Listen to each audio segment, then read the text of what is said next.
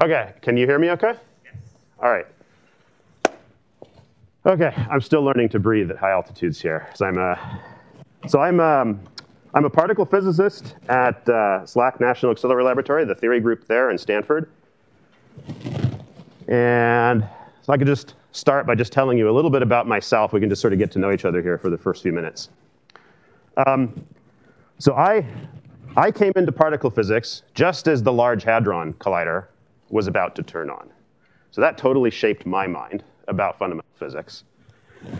And so a lot of my early, a lot of my early focus was on thinking about ways of understanding data from the Large Hadron Collider, how we could go about looking for new physics, for example, that could address the hierarchy problem or dark matter, again, at you know, a large accelerator. And that really shaped my thinking, and we'll probably come back to that a few times um, over the course of these lectures. And then from there, I spent quite a bit of time motivated by a string of sort of curious anomalies in data, kind of in the 2007, 8, 9 period, that motivated thinking about new kinds of dark matter and what, have, what has become known as the dark sector framework. And even though I'm a theorist by training, um, a lot of that work has led me down the path of actively collaborating very closely with experimentalists, in some cases actually just working on experiments directly, um, all in parallel with pursuing theoretical ideas and finding new opportunities for testing those ideas at existing accelerators and with new small-scale experiments.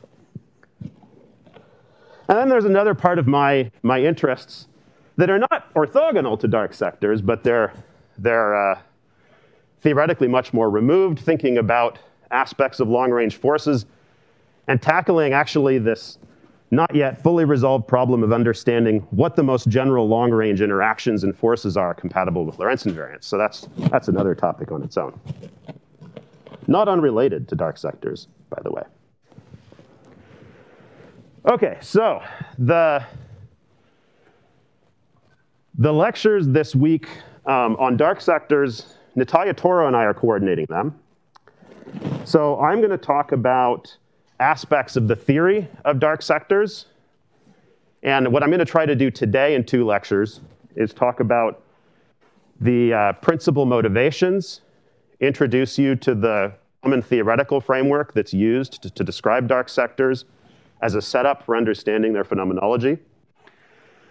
And I'm going to focus on dark photons and the mediators particles, so not so much dark matter today. And then I'll pivot and spend more time on specific models of light dark matter, probably tomorrow and Thursday. I want to be fairly flexible with these lectures, so I heard ahead of time that there's lots of questions, and I've come prepared for that, okay?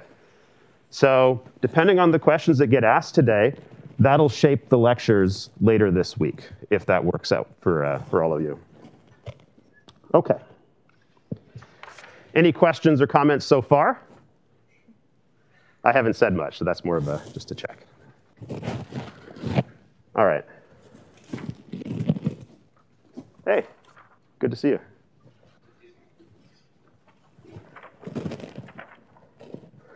And I should start with an apology. So I'll eventually put these lecture notes up online. It's going to take a little while. Um, there are some important things missing. For example, I, won't, I don't have any references to papers in these notes, so I'll try to put those up as we go over the course of the week. Um, so I'll just apologize. Let's see, right now I'll apologize principally to Lian-Tao and Stefan for not citing your work in some of these lectures. So, all right. Okay, so on the theory of dark sectors.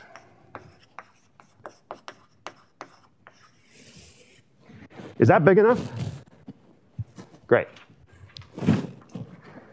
Okay, so what are dark sectors? So the basic point of view, the basic setup here, is we have the standard model on the one hand,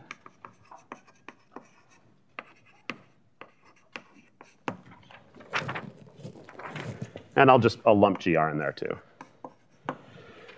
depending on whether you want to think of that as part of the standard model. Just lift this up a little bit. Okay. Now,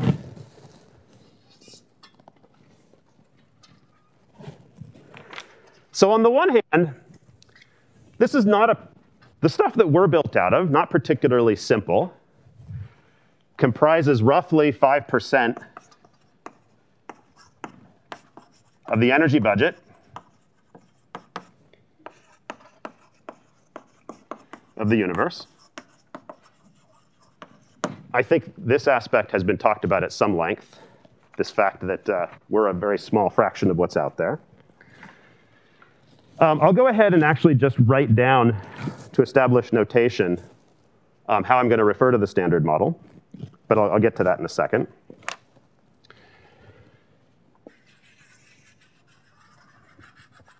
And then there's everything that is not directly charged under standard model forces. So I'm going to refer to these as matter and forces not charged under the S under the standard model. Okay? And of course, I'll say this over and over again, but the principal reason for thinking about this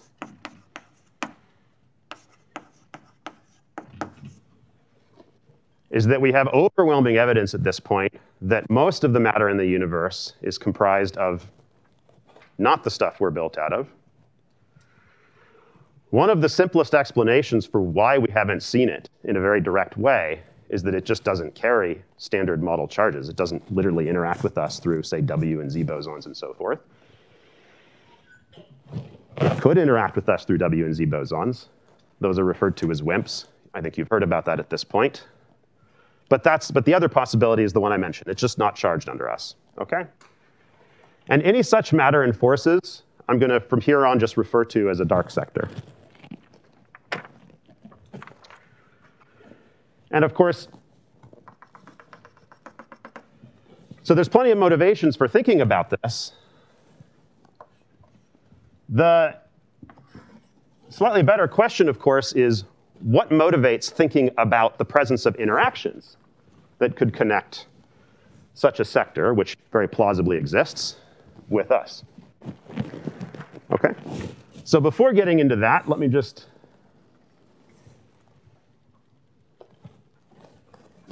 establish a little bit of notation. So for this, for this lecture series, so the standard model, and I should ask, actually,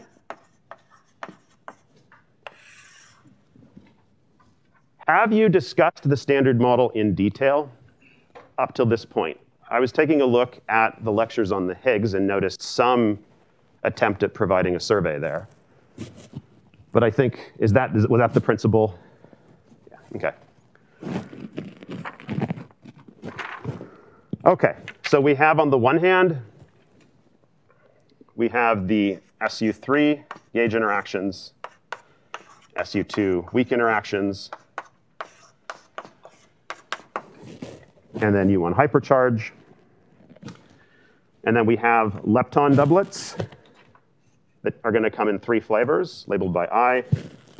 I'm not going to make too much use of all this notation, but just make sure we're on the same page. So those are singlets under SU3. They're doublets under SU2. They carry hypercharge minus a half. There's some convention dependence in how you do this. There's the right-handed lepton. Right, so this is a singlet. There's the quark doublets. Right, so these have the up and down components. So these are fundamentals under SU3, doublets under SU2, and then there's their hypercharge component, one sixth. and then the right-handed quark components.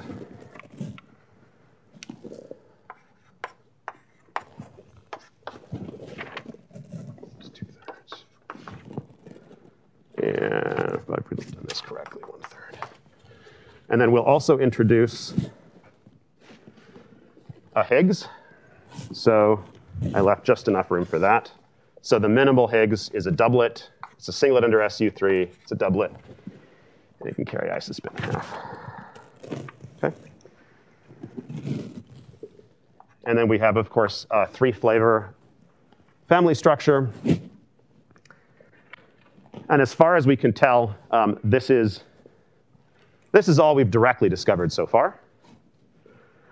The last component being what appears to be a fairly minimal looking Higgs doublet.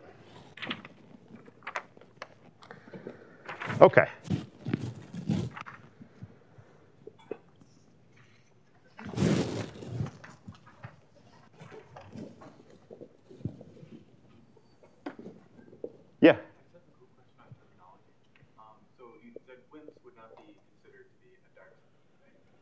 WIMPs are, it's, the short answer is no.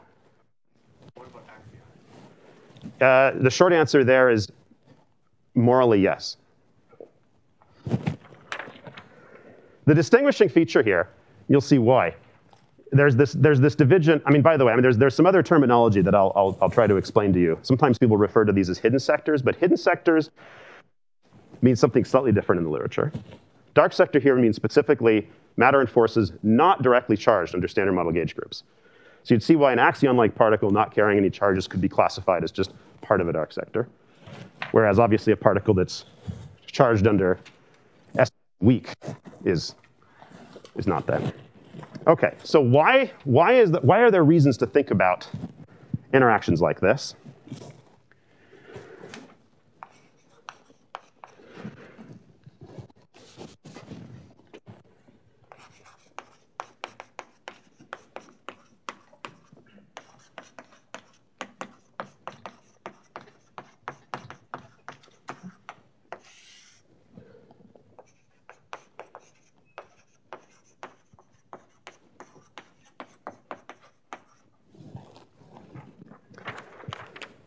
And so here, I think, and I expect uh, quite a few questions as we go through this, because I'm going to do this at a, at a bird's eye view. So there's a number of theoretical reasons that are quite old, things like the electroweak hierarchy problem, parity violation in the strong interactions or the strong CP problem. Uh, both of these motivate dark sectors. So I think you've started talking about naturalness and the electroweak hierarchy problem this week but just for completeness. So I'm just going to go through these motivations, and they're not in ranked order. They're all kind of roughly on the same footing. But let's start with the classic theoretical puzzles.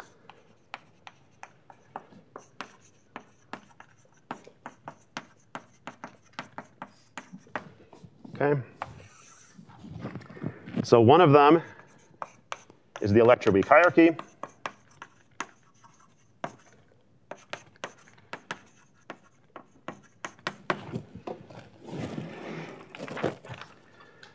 And simply put,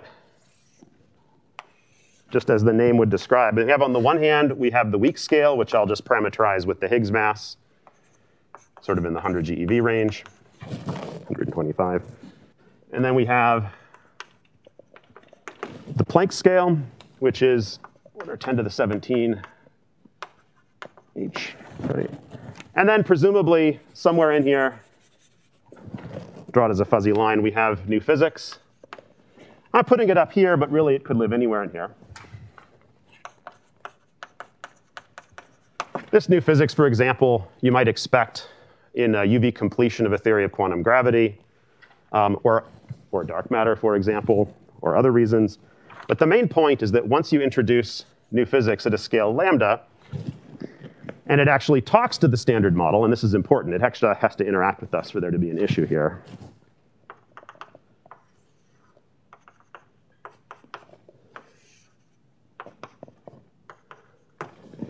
If this new physics talks to the standard model, and in particular it talks to the Higgs, then the calculable finite corrections that you typically get from such new physics, just from an, from an effective field theory point of view, induces corrections to the Higgs mass of order the scale of this new physics. And that tends to lead to the natural expectation that the weak scale, which is tied to the Higgs mass, shouldn't be too far away from whatever this scale of new physics is. Okay? So the hierarchy problem is the problem that if you want to imagine this new physics is arbitrarily high up towards the Planck scale, you have to imagine some kind of fine tuning of parameters, which is fine. There's no inconsistency doing that. The theories were normalizable. You can do it.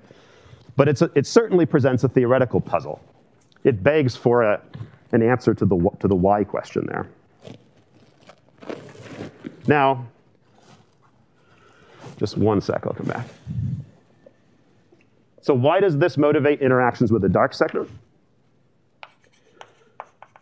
So typically,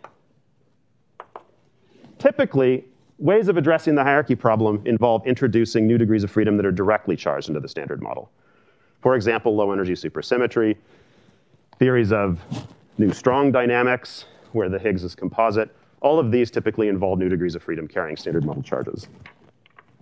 Now, in recent years, in part because we have not seen an explosion of, new, of, of such states at the weak scale, at the Large Hadron Collider.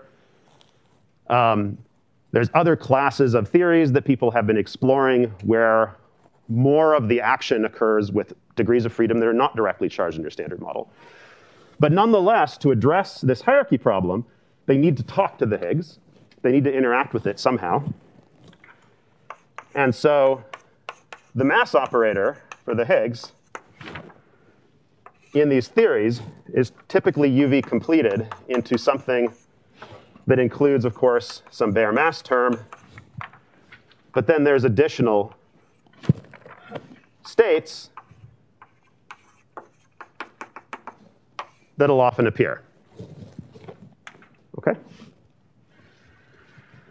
So attempts at addressing the hierarchy problem motivate thinking about interactions with the Higgs of this structure. And really, these are actually the kind of minimal set which degrees of freedom S, which don't carry standard model charges, can actually talk to the Higgs. The dot, dot, dot here are just UV suppressed operators. These are higher dimension operators. This is a dimension four operator, so that coefficient's dimensionless. This is a dimension three operator, that carries mass dimension one. So I've just truncated at dimension four. These are the only terms that you would expect to survive at low energy. Okay, now let me come back. Um, so with the hierarchy problem, um, this mass difference or energy difference is relative, right? Like if the Planck scale were at 10 to 50, then we would say, oh, 10 to the 17 GeV seems pretty close to 10 to 100 GeV. Does that make sense? I, I don't know that that's a fully formed question, but I guess the question is, why have we decided this is a large difference?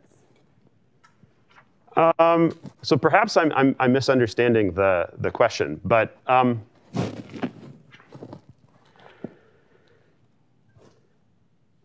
let me just let me just reframe what I'm what I'm what I'm trying to what I'm trying to say here.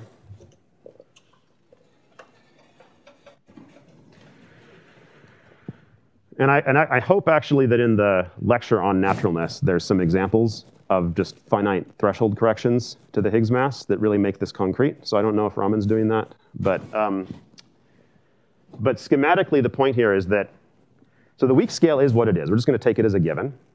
Just let's just use this to sort of define some some natural set of units for us. We're going to work in units of the weak scale.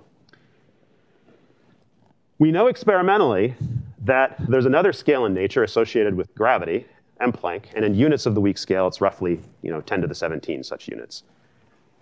I don't know if that's a large number or not. It is what it is.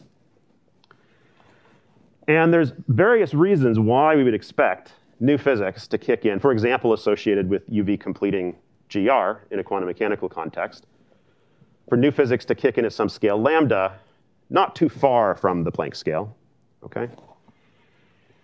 And in perturbative models, where you can actually calculate things in, in reliably, in particular, so where the word sort of finite threshold correction even has meaning, you can just calculate loop level corrections to the Higgs mass that come from this new physics, and you just quantitatively get a mass, mass terms that scale like this, this scale lambda squared. So if this is much, much, much larger than the weak scale, you know, you have to imagine that in the, in the full theory, as you're renormalizing, you'd have some, I'm going to call it um, m bar Higgs, so this is some parameter. Then there's some number, lambda squared, and then there's some counter term for the Higgs mass that we add when we normalize the theory. And essentially what you're, what you're doing is at the end of the day, you want this combination to be close to 100 GeV. But you naively have these perturbative calculable corrections in the UV theory that are huge. And so you have to actually just by hand tune, tune that away so that your renormalized Higgs mass is, is much, much smaller. And there's nothing inconsistent about doing that. I just want to emphasize there's no like logical problem here. There's no mathematical problem doing this. But it begs the question, why would there be such a large scale? Okay, because you would just expect that any of these little finite calculable corrections would naturally would give you an estimate for where this scale should be, which is up here. And yet we're, we're pushing it all the way down to a lower scale. So there's other ways of talking about this, but at a sort of mechanical level, the way that people sometimes talk about fine tuning, this is literally what they mean. So there, there's a Wilsonian way of talking about this as well. Um, but I don't, I'm, I'm actually not sure that, has there, I don't think any of the lecturers have talked about effective field theory in, in that language at all yet. Yeah. So let's just, uh, let's just leave it at this. Is that helpful? We could talk more about that later as well.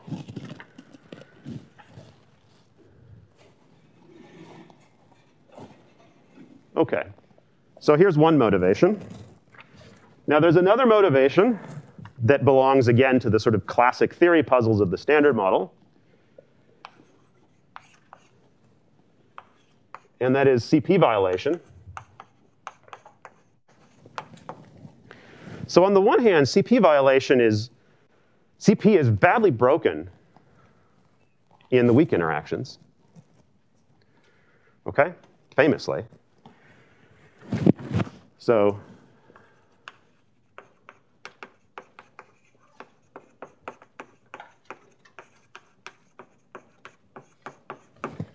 So on the one hand, weak interactions break CP. On the other hand, the strong interactions allow a CP violating term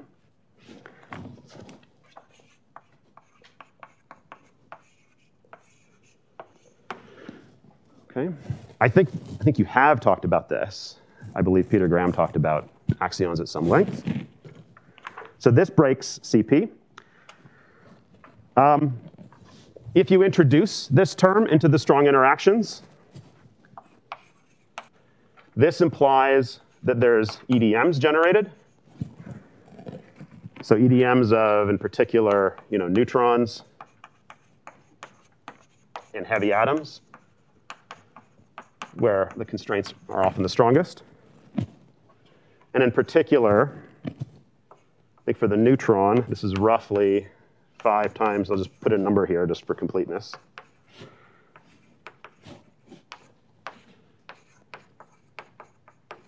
Okay? But experimental constraints limit this to about 10 to the minus 25.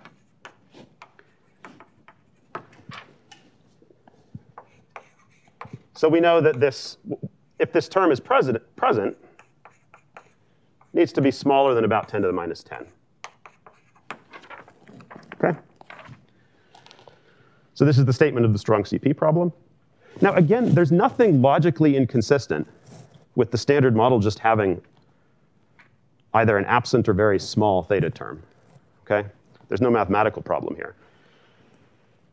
And in fact, if there were no other sources of parity violation beyond the standard, CP violation beyond the standard model, this would even be technically natural. Like there wouldn't be like large radiative corrections that would generate such a term. Okay? The problem is that in many extensions of the standard model, there are additional sources of CP violation.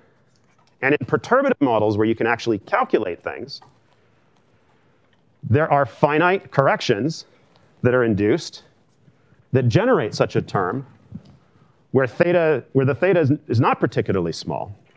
And in those models, you're left wondering why, at low energies, is theta so tiny? So the classic solution is essentially what I'll just, I'm just gonna lump this into the dark sector class of, of, uh, of models. This motivates thinking about elevating this operator, introducing a dynamical field, which I'll call A.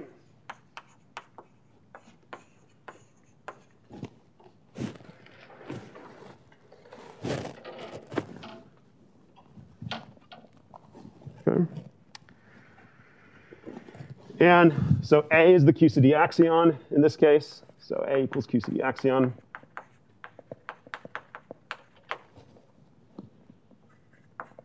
And dynamics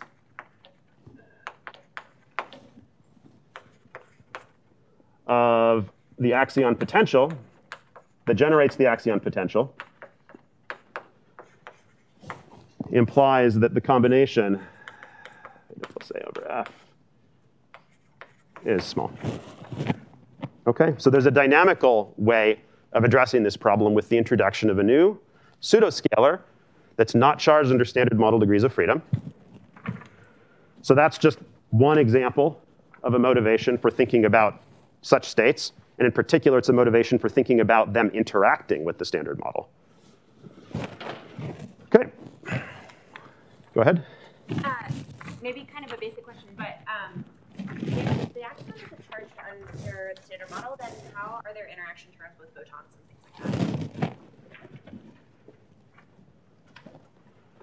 So, so that is a good question. Um, so you'll notice that there's a mass scale f in this, in this interaction term. So this is a dimension five operator. So the way that you imagine these interactions arising are through degrees of freedom that directly, that, that can generate that term that talk to both the standard model and the axion. Such a sector with, for example, PQ symmetry where it may or may not be broken.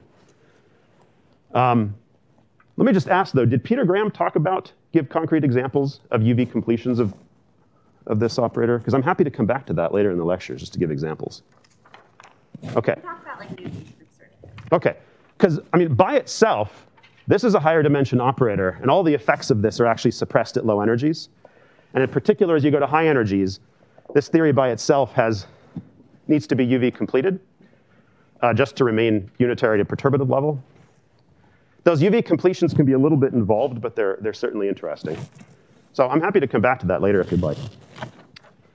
But moving on,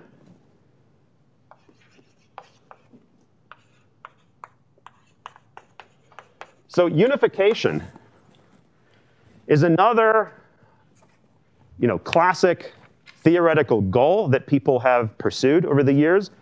This one really came into its own with the idea of low energy supersymmetry to address the hierarchy problem. Uh, I don't think anybody, well, most of the people in this room, I don't think, probably didn't grow up sort of uh, eating and breathing this stuff. Um, just within the standard model, if you look at, say, gauge couplings as a function of scale, I'm going to just be very quick about this.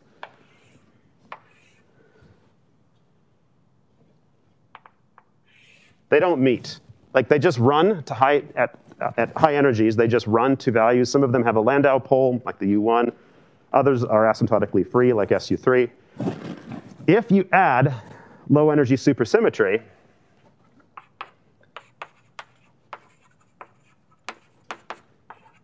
and it doesn't even have to be like especially low energy. Okay, technically this is consistent with uh, LHC data. Um, then you find that the gauge couplings roughly meet at a scale called about 10 to the 16 GeV and they sort of roughly meet at a point if you extrapolate them from their low energy values. So for people who were thinking about unification and the hierarchy problem, this sort of appeared as a little bit like a miracle. And I think it added a lot of motivation for thinking about how the underlying gauge structure and the matter content of the standard model could arise from a unified theory where you would naturally expect this to occur. Okay, where you have some, some group up here at a high scale where you have SU3 cross SU2 cross U1 living inside, side, inside of, I'll just call it a grand unified theory or a gut. Okay? Now, I'm mentioning this because, uh, let's see. This set the stage for decades of model building, understanding how the standard model could arise this way. So there's minimal grand unified theories like SU5 or SO10, each with their own merits. There are others in more recent years. There's extra dimensional versions of these. Turns out the breaking of, of, of the, of the underlying gut symmetry can be a little bit involved. So there's an interesting story associated with that. One of the things that naturally arises out of such constructions are, is the accidental gauging of, sorry, it's the gauging of accidental symmetries in the standard model, symmetries that appear accidental in the symmetry. So things like baryon minus lepton number. So I'm going to go over to this. If we've got the standard model notation established, I'm going to go ahead and just bring this board up.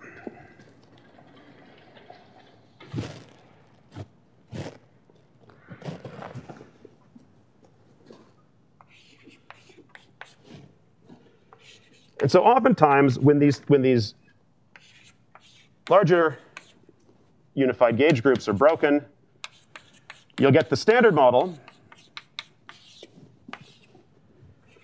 and then you'll get extra, extra gauge groups. Often they're U1s. Just call it a U1X. One common U1X, so a common one is a abelian gauge group that's gauging B minus L.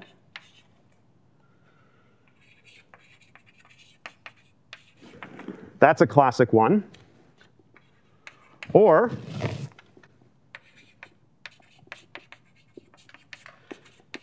just entirely new U1s, which in that case I'll just refer to as U1 dark. So I'm just going to, the D here will stand for dark, where it does not have to be associated with any accidental global symmetries of the standard model.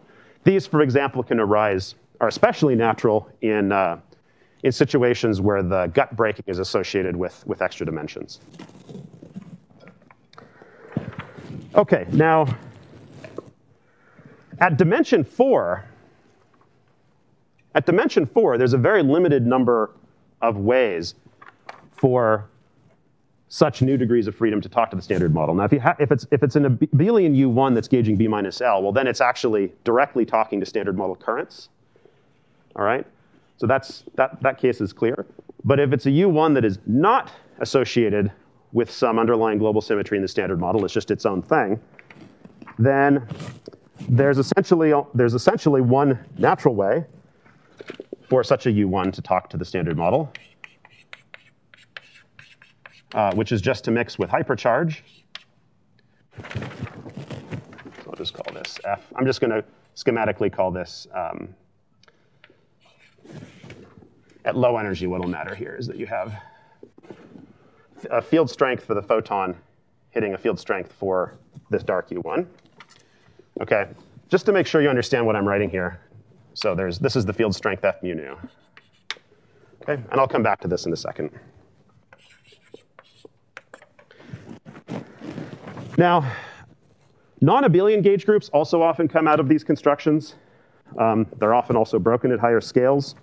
Uh, analogous mixing terms with the standard model are more severely constrained, and in fact, they don't exist at dimension four. They can arise at higher dimension. And that singles out this, uh, these U1 mixing terms as special. Okay? All right, so all of this is to say that in the context of unification, new forces that are not directly under the charge under the standard model can arise naturally, and there's a limited number of ways that those can interact with us. And in practice, in concrete models, they do interact with us. These terms are just generated. All right, a final, more data-driven motivation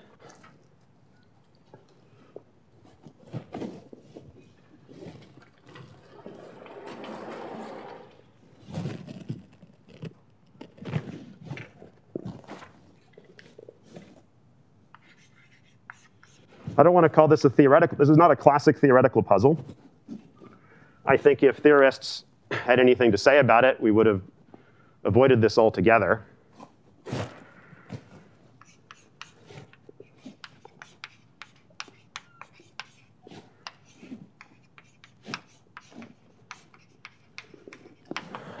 But the experimental discovery of neutrino oscillations, which imply that at least some of the standard model neutrinos actually have mass, rather directly implies that new degrees of freedom are needed to explain the origin of that matter and hence some kind of dark sector. The simplest explanations involve new degrees of freedom that are not directly charged under the standard model gauge groups. Okay? So just writing that.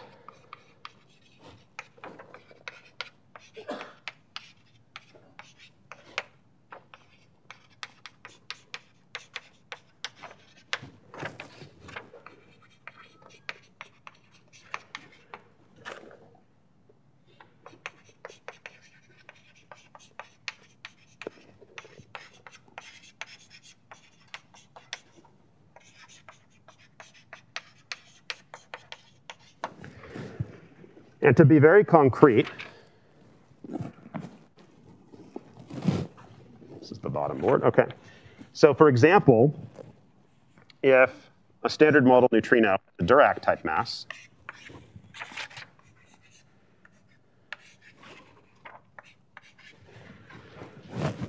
that can be explained with the introduction of some new state, n, we'll just call n bar, which is we'll often refer to as the right-handed, a right-handed neutrino component. The underlying operator that it, that it can come from is you have um, you have a Higgs neutrino coupling with a right-handed neutrino plus Hermitian conjugate. And then upon electroweak symmetry breaking, you generate Dirac mass terms for the neutrino when you partner up n bar with nu. And then the other case that's often considered for Majorana, so that's where we have, this is probably too low, so I'll just, I'll go over here.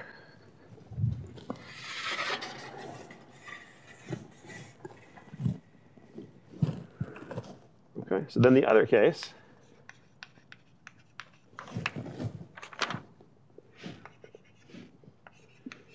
Where you have Majorana mass terms. A popular framework for explaining these is by integrating out a heavy right-handed neutrino where the underlying operator.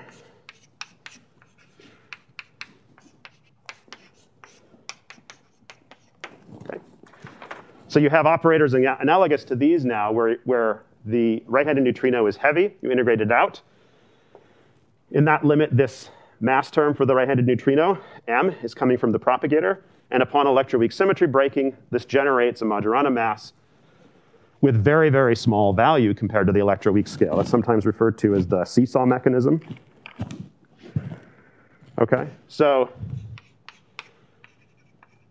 if these n-bar masses are in, say, the MEV to EV scale range,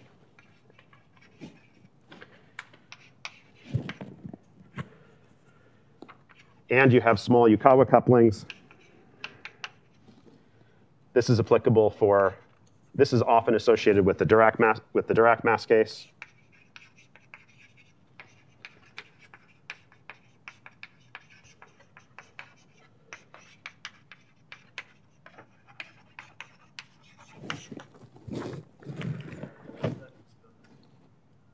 Sorry, what's the question?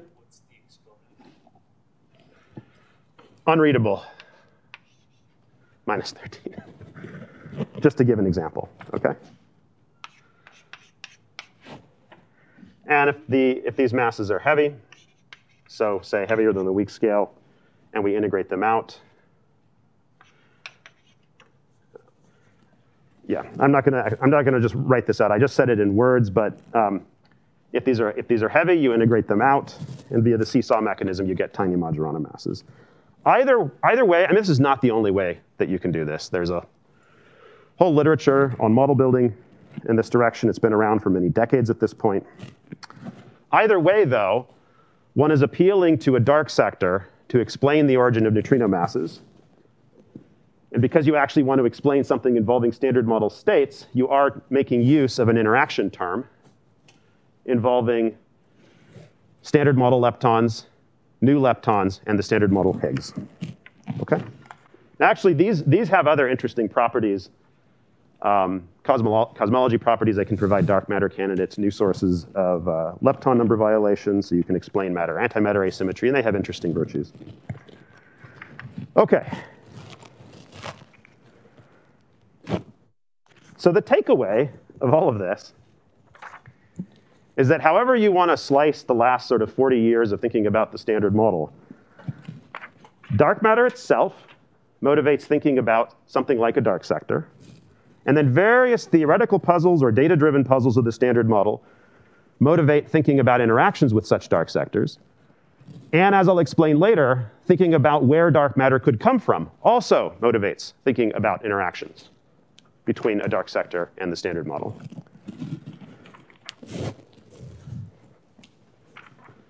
So going back to this first board,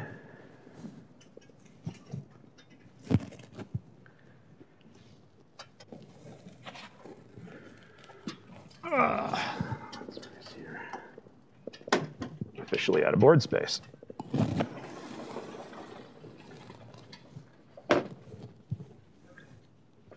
Go ahead.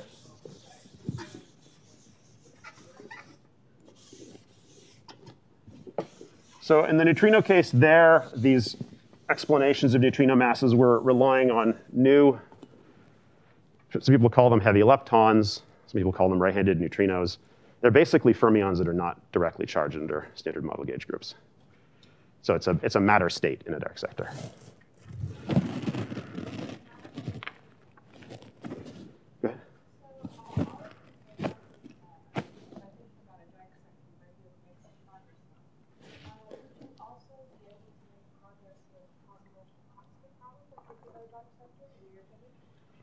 Possibly.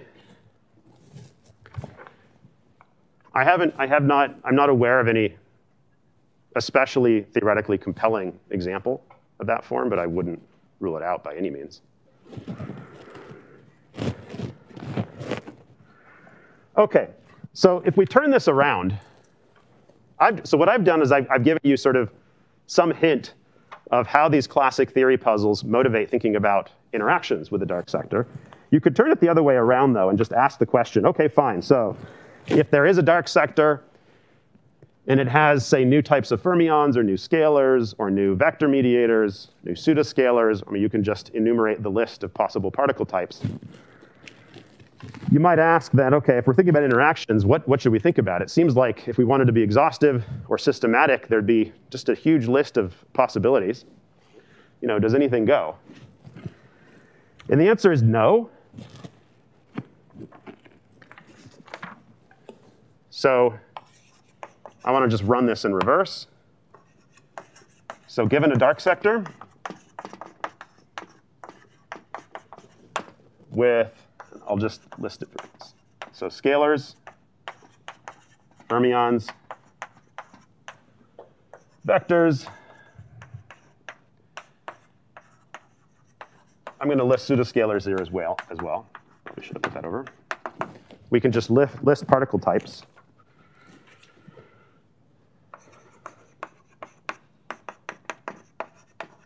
What kinds of interactions should we think about?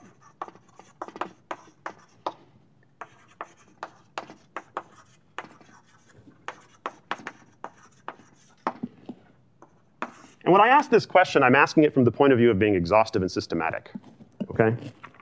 Right, if you wanted to carry out a sort of program of studying dark sectors, how would you organize your thinking? Oops. And here is where we want to exploit what we know to the greatest effect. So there's sort of three key ingredients that we want to use. So one powerful tool, so you know, I'm going to just refer to these as severe constraints, severe theory constraints.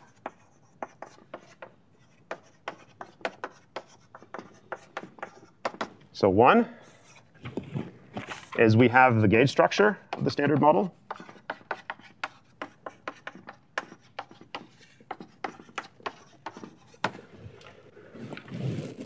which severely constrains the kinds of operators that you can write down that simultaneously respect the underlying gauge symmetry of standard model interactions in the presence of interactions with new degrees of freedom. This ends up being by far the strongest constraint. There's, of course, also the symmetry structure of standard model matter. By that, I just mean, you know, the, uh, the particle content that I wrote down and the fact that they fill out particular, they have particular symmetry structure under the standard model gauge groups. So maybe you want to just consider this to be a subpoint of point one. And then we want to use guidance from effective field theory.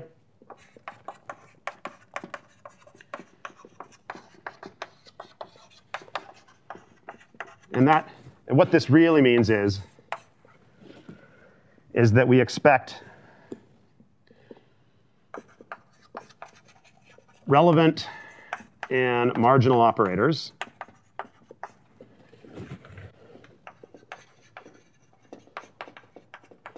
will dominate.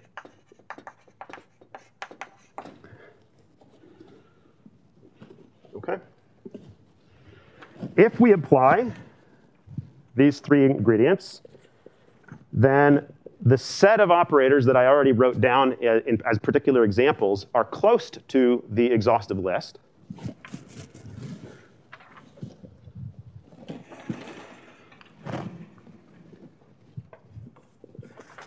And this brings us to what people sometimes refer to as the portal formalism. Okay, I, I always find the term portal to be a little hokey, but, um, but you know, when you draw this picture, you get the idea, right? You have a dark sector, you have the standard model, and then the, the allowed interactions are supposed to, you're supposed to think of these as experimental po portals for testing these ideas. Really, these are just the allowed marginal and relevant operators that you can write down connecting the standard model to neutral states.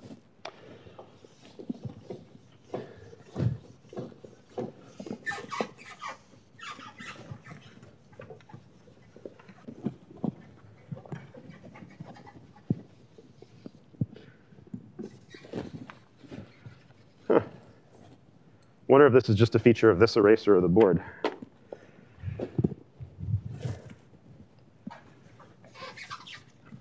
All right, well, forget that. I'll just write bigger. Okay.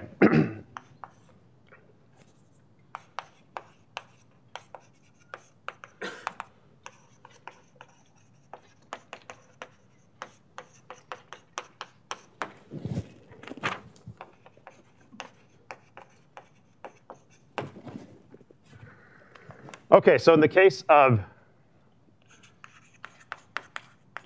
of vector interactions,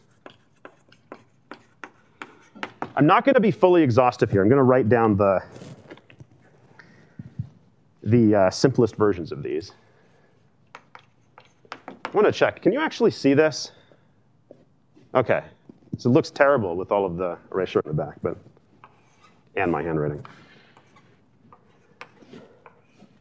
The canonical way this is written is minus epsilon over 2 cos theta weak. This is the Weinberg angle. You'll see why that's a typical convention. So the prime, okay, so F prime mu nu is just the field strength.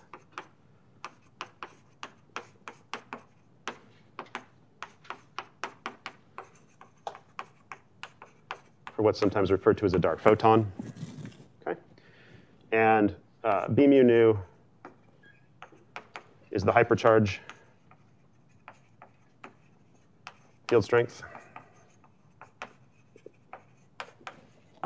Okay. In the case of scalars, it's what I wrote down before. So scalar interactions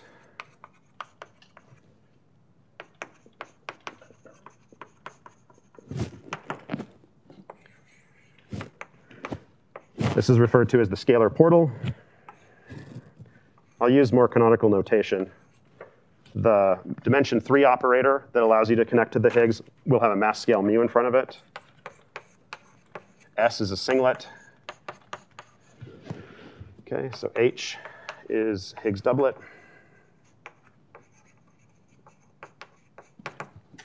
S is a singlet, scalar. Okay, so S is the degree of freedom that belongs to the dark sector, neutron and standard model states. These are the only dimension three and four operators you can write down, the Higgs. Fermions.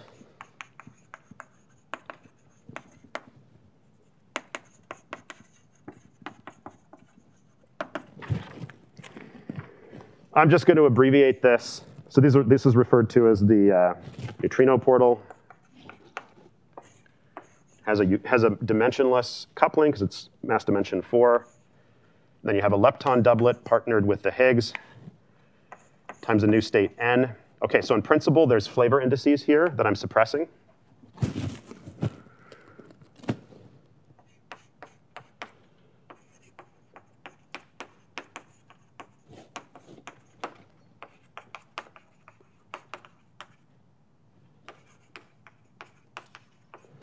This L is the same L I wrote down for the standard model lepton doublet before. So this is the neutrino portal.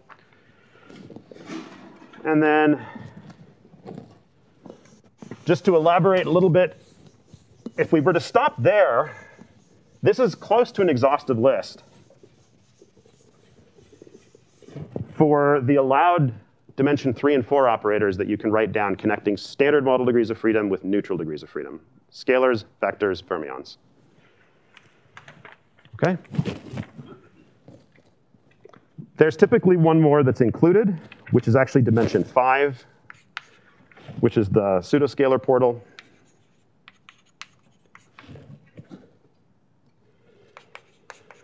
And that goes beyond just the SU3 field strength coupling.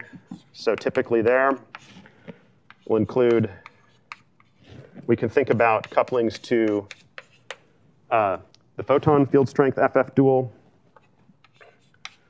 We could think about couplings. Obviously, there's the QCD axion coupling. There's other couplings to the chiral currents.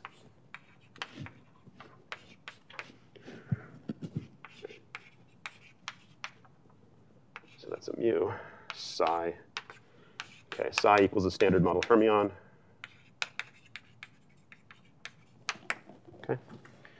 So there's chiral current couplings to pseudoscalars as well as the, and by the way, yeah, so this F, so these could be either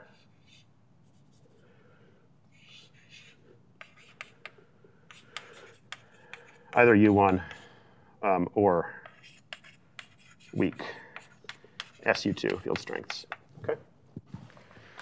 So a couple of salient features worth pointing out.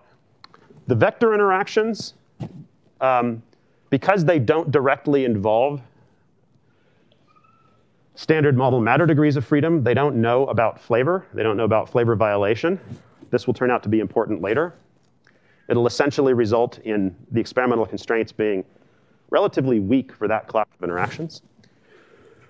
Whereas uh, the other three, in principle, um, well, in particular, the fermion interactions, where I've just explicitly suppressed the flavor indices, as well as the pseudoscalar interactions, especially when you start coupling to chiral currents.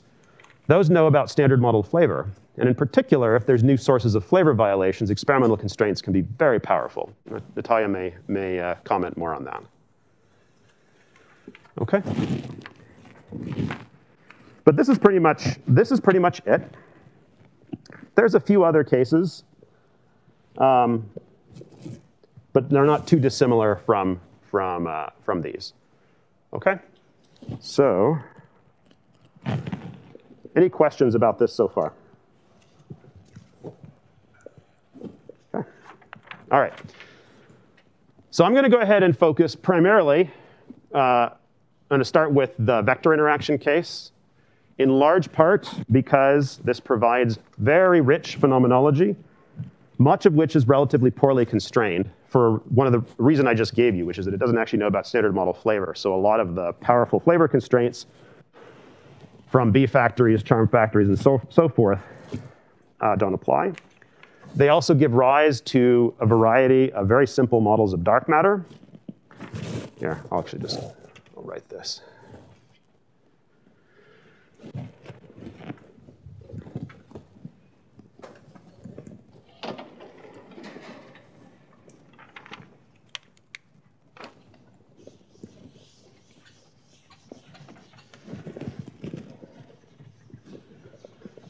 And because they give rise to a rich phenomenology that can make a rather direct and simple connection to dark matter, there is at this point a fairly broad worldwide effort looking to constrain, either discover or constrain, interactions of that type.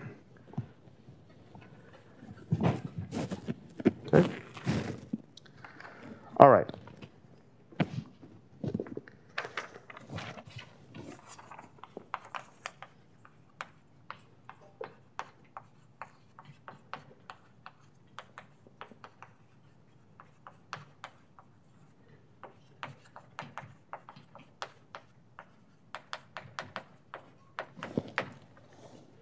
well, theory of dark vector interactions with kinetic mixing.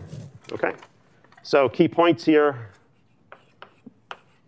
I just said it, but very rich phenomenology, as you'll hear a lot more about from Natalia.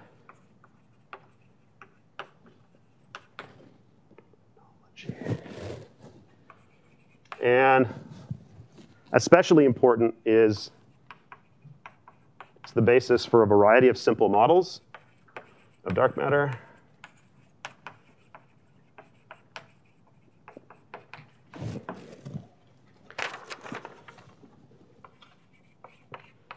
Relatively poorly constrained.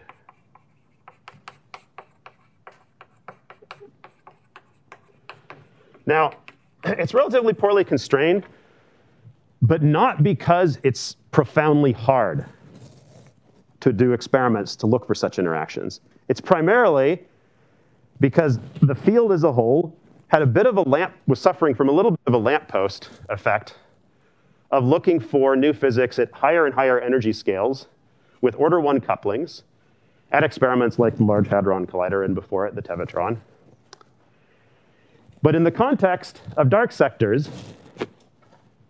for even modestly small couplings epsilon, the entire generation of experiments that uncovered the structure of the strong interactions and so forth largely would not have been sensitive enough to see such an interaction, even if the new states were right, on, right under our nose, like literally at GeV mass scales, okay?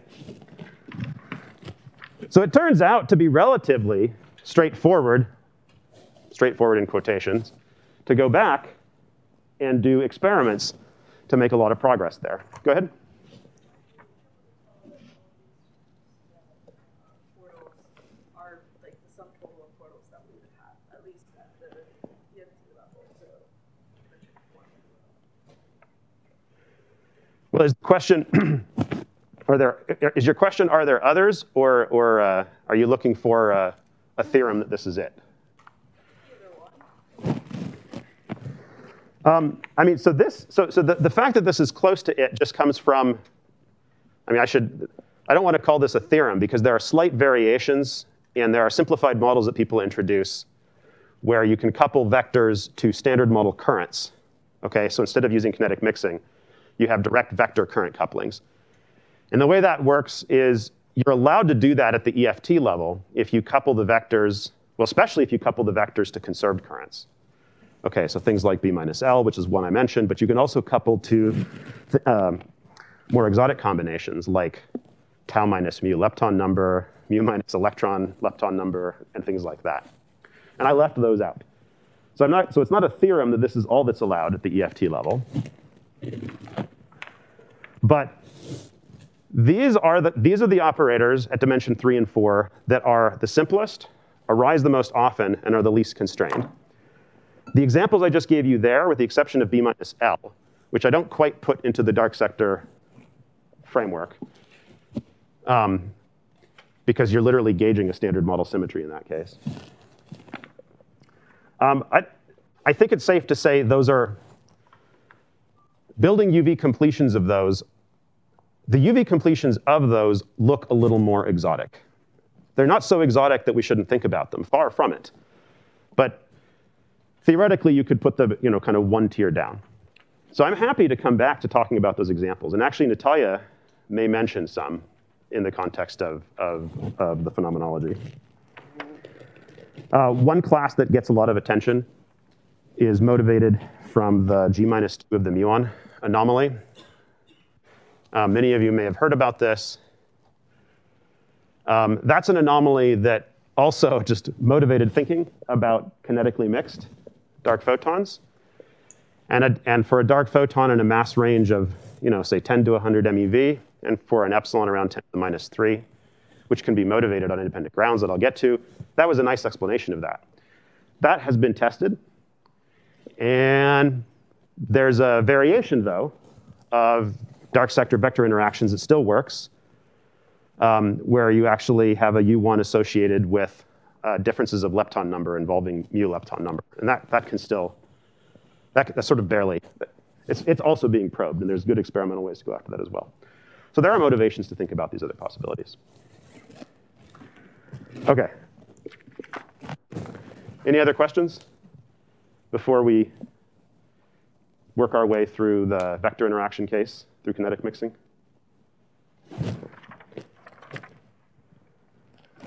Okay.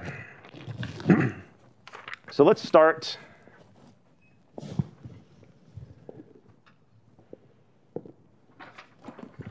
I think I've already introduced most of the important notation, but I want to write down, just for completeness, the Lagrangian we're going to start with. Okay, so let's put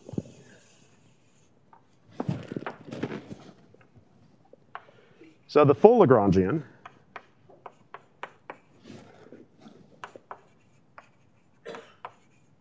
is as such. So we have the hypercharge. So I'm gonna, first I'm going to write down the Lagrangian for the hypercharge part of the standard model.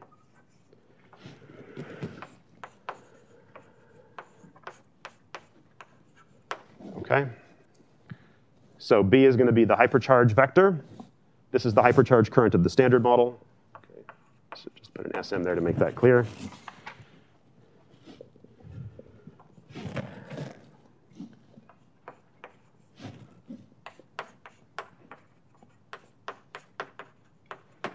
So here's the dark sector uh, vector field strength. We will include a mass term.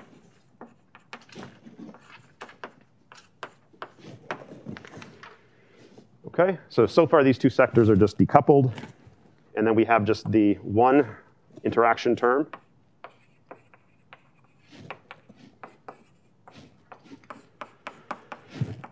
Okay, which is this kinetic mixing. So that's our Lagrangian.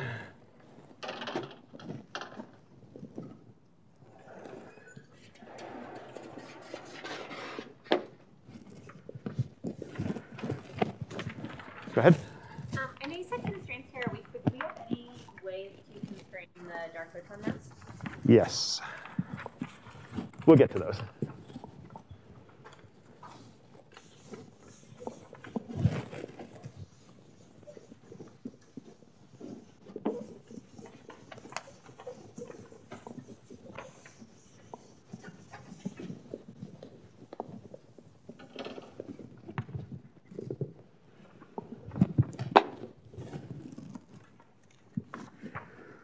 Okay. Now, the reason, the reason I wrote it this way, and you'll see this in the literature as well, is that upon electroweak symmetry break breaking, electro, oops.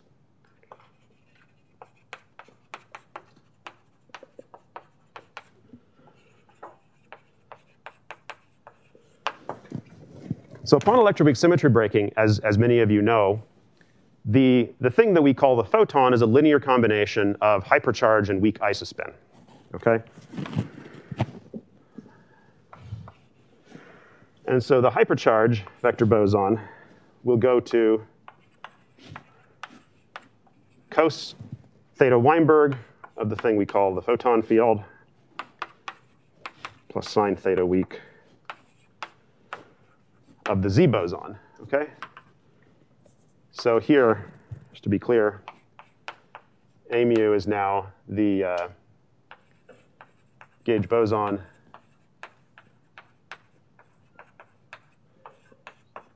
for familiar electromagnetism in the standard model. And Z mu is the Z boson of SU2 weak, and in particular of, of the uh, neutral weak isospin. So that means that this, this term here, the mixing term,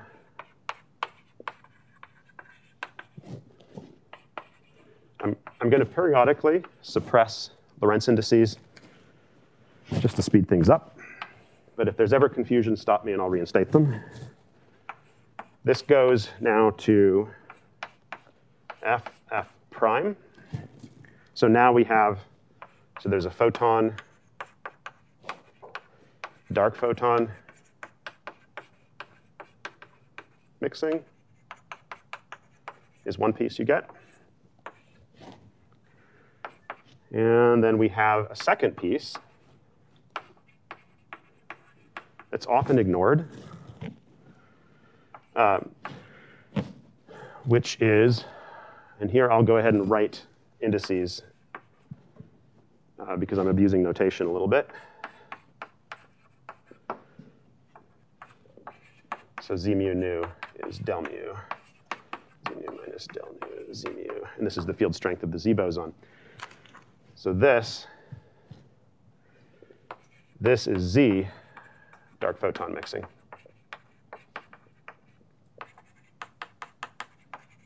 Okay. Right, so we expect in the UV theory the mixing to arise fundamentally with the U1 hypercharge, just because U1 electromagnetism at low energy is a sort of derived surviving gauge group. So we would expect then mixing with uh, both the photon and dark photon through this kinetic mixing operator as well as the Z boson. Okay. Now, I'm going to start for a second by just ignoring this, okay? And we'll come back to that in a second.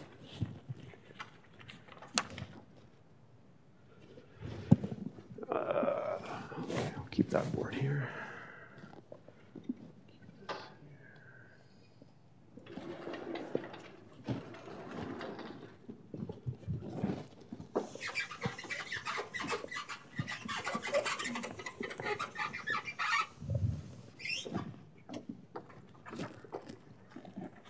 Okay.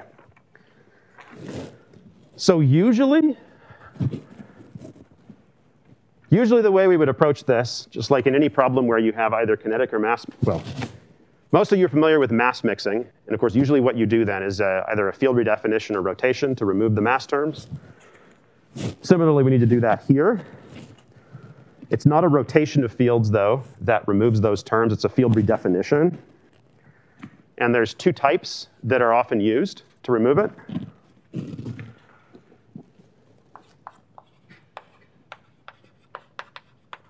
And they're completely physically equivalent, okay, but they, they highlight things more or less clearly depending on which basis you use.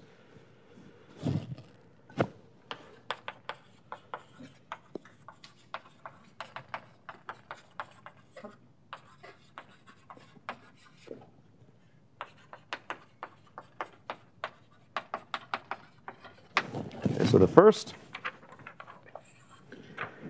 is to take the photon field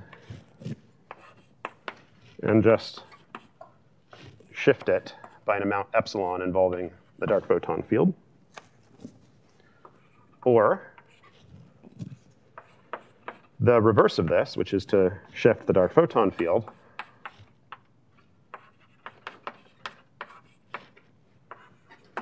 into the photon field by a small amount. Okay. Either one of these field redefinitions will remove the kinetic term. Now, suppose we don't want to mess, so I'm just going to call this 2. Suppose we don't want to mess with the interaction term in the standard model. So where did I write it? Up here. Okay? So suppose we don't want to mess with this term. That would motivate not shifting the photon field, That would motivate shifting the dark photon field to get rid of that kinetic mixing. All right.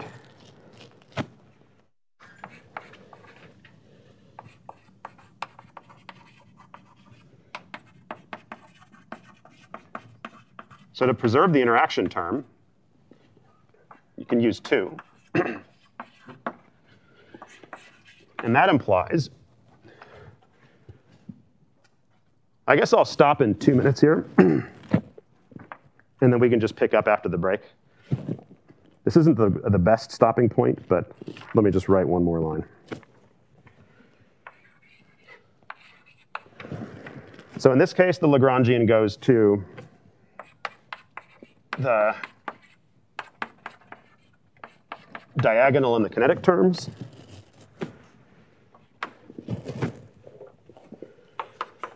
But then we have a mass matrix.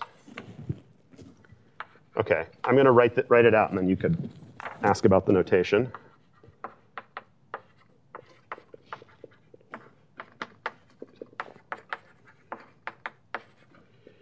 Okay, now, this isn't zero, literally, but I'm only going to work to order epsilon squared.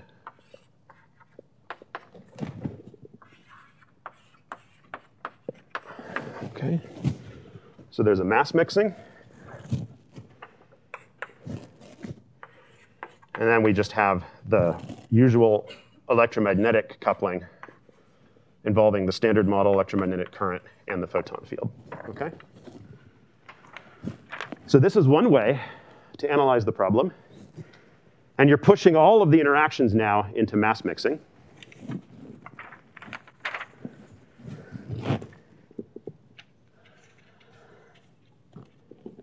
And I think I'll just say the punchline and then we can pick back up after the break. This should make one thing abundantly clear, which is that kinetic mixing by itself, in the absence of no other dark sector degrees of freedom that talk to the U1 dark, by itself, it is completely irrelevant if the dark photon mass is sent to zero. Okay?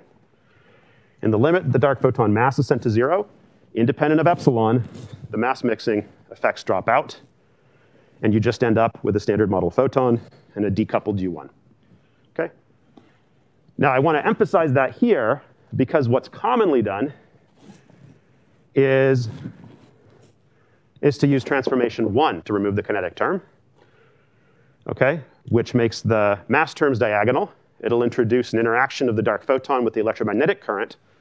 But this fact that all the physics drops out when you send the dark photon mass to zero will be fairly obscure in that basis, which is why I want to mention this to you now. But on that note, let's take a break. I think we're at 10:15 here. Go ahead. Do you want to do questions after the break? We can just, we can just hold questions later. Is that okay? Yeah, okay. It's, it's half an, oh, sorry, how long is the break? Half hour, okay. Very quick request for you. Uh, if you don't want to read it, should I just give him some meal cards? You're here for the week. You gotta Y- Yeah, so what we're, get meal cards yet, no, but I mean, no, but, but, um, um, I mean, you can give me a meal card, but Tu- Tuesday, I'm not sure, Thursday, I'm not sure I'll actually eat in the cafeteria, because I, the thing is, I may just go back where we're staying. Because of your daughter. Yeah, Yeah, okay. and like we've been doing dinner anyway. Let me give them to you Sure. as an option. If you don't use them, you can always give them back. But uh, just in case you want to. I'm assuming these are, so if I don't use them, I should give them back, right? You should give them back. They Okay. have some value. Okay. Yeah, But if you walk over with the students to the cafeteria Okay. one of these Okay. it'll be good to have. Okay, yeah. So the main time I assume that the, uh, that the, that the students are out, like, it's, it's lunchtime is their main break, and then there's these coffee breaks, and then they have lectures in the afternoon, right? So, That, that, that's right. So the, the afternoon is like the morning. It's an hour and 15 minute lecture, a half hour Okay. coffee break, an hour and 15 minute lecture. So there's a morning coffee break, a two hour lunch break, and an afternoon coffee break. okay, all right, well, I'll just, I'll make my during the breaks as much as possible. Go ahead. If at all possible, if you sit your corner of the board just like a thin strip at the end. Oh, yeah, I see what you mean. I'm sorry. Yeah, absolutely. There's a, Hey, I had a couple questions. sure. Just so I understand what you're saying here. So it's obvious to me, I make this choice and uh, Dark Photon Mass goes to zero. I have no interactions, that's fine. And so